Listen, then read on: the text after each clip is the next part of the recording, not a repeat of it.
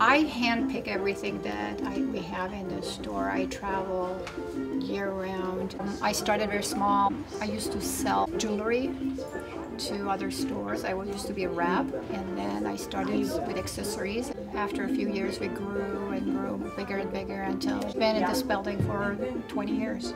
We have so many popular things. We have like layering pieces. We have our basics that's very popular, but then our jackets and our candles and home decor. Our product changes all the time, very fast weekly. We have amazing fashion shows every season that we do.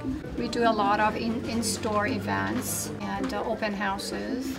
You know, after 24 years being in this business, I really picture every one of my customers. We have thousands of customers and I by now I know what they are looking for and I would like to just pick the things that makes them as unique as the store. My name is Chalet and I would love to invite you to my store and come and see what everybody's talking about.